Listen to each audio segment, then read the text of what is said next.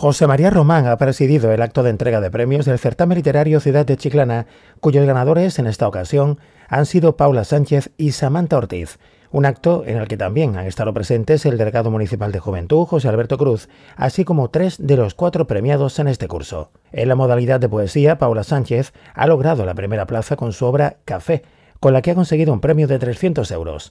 La segunda posición en esta modalidad ha sido para Javier Marín, con su obra Nocturno del Esforcesco, logrando así los 100 euros de premio. En cuanto a la modalidad de prosa, la primera plaza ha sido para Samantha Ortiz, que ha logrado el premio de 300 euros con su obra El Tesoro de Chiclana. Además, el segundo puesto ha sido para Virginia Jiménez, que ha conseguido los 100 euros de premio con su obra Formas en el Cielo. Tanto en prosa como en poesía se han presentado 31 obras de 24 distintos autores, lo que quiere decir que algunos han presentado dos obras. Nosotros cuando se presenta esta iniciativa lo que queremos es, pues bueno, impulsar un poco la creatividad, ¿no?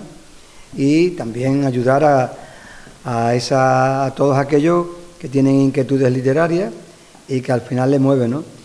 Y la verdad es que mm, algunas personas que han estado aquí, luego los he recibido yo, pero no por esto, sino porque han escrito una novela y ya van algunos por su segunda, por la tercera.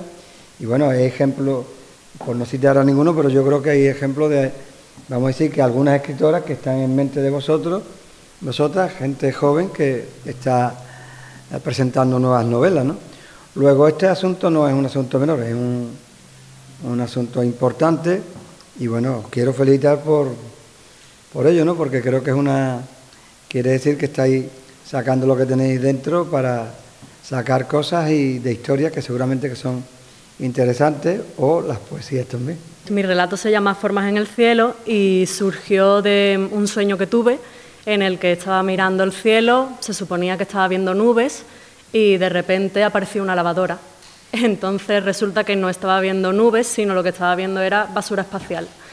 Y todo esto yo creo que surgió porque estaba viendo una noticia sobre basura espacial y entonces pues empecé a imaginar un relato en el que había unos niños mirando el cielo, e intentando adivinar formas en lo que se suponía que eran las nubes, pero al final resulta que no, que están mirando, pues eso, basura espacial que, está en el cielo. Y se empieza a ver un mundo pues, en el que está lleno de contaminación, eh, en el que prácticamente no hay comida, no hay recursos, y bueno, pues de eso trata mi relato. Y poco más, eh, realmente a mí me gusta escribir eh, relato y novela, tengo algunos relatos premiados aparte de este, pero novela por ahora no he tenido suerte y a ver si, si cae alguna. Yo cuando empecé a escribir el cuento me inspiré obviamente en Chiclana, creo que es un orgullo el poder escribirle a, a tu ciudad. Y escribí El Tesoro de Chiclana, que es un chico que va recorriendo eh, Chiclana a través de pistas y va descubriendo eh, cada encanto que tiene, que tiene nuestra ciudad, desde la Santipetri, la Chiclana Fenicia. Y, bueno, pues al final se da cuenta que es Chiclana la que le dice quédate y, y mira todos los encantos que tienes a tu alrededor y no te habías dado cuenta. Yo he escrito Café.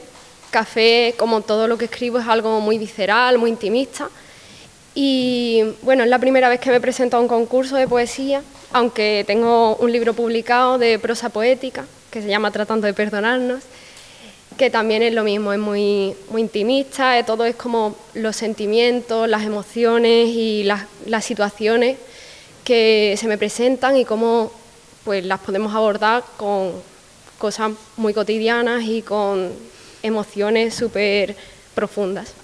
Estamos contentos por lo que decía el alcalde. Eh, tenemos más participantes que en años anteriores. Creo que eso es muy importante teniendo en cuenta que este certamen eh, empieza a tener ese carácter local. ¿Por qué?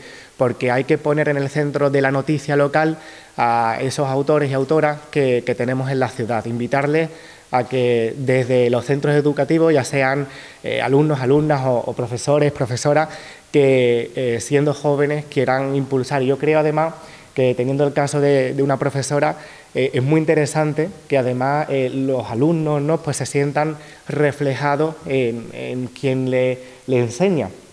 Y eso es muy importante porque cuando pasamos tanto tiempo e, en el aula, al final nos queremos ver reflejados en los adultos que nos rodean y más allá de nuestra familia, los siguientes adultos llegan a ser eh, la comunidad educativa. Así que eh, agradecer que hayáis participado, daros la enhorabuena por, porque realmente el jurado lo ha tenido bastante, bastante complicado este año y invitaros a que seáis ahora embajadoras de, este certamen eh, para que cada, cada, año tengamos nuevas caras. Ellas, perdón, ellas tres Además, hay que decir que, es la primera vez que participan, con lo cual la enhorabuena doblemente porque eh, hay muchas participantes que, han intentado esto durante varias ocasiones y han conseguido los premios en la primera vez que, se, presentan.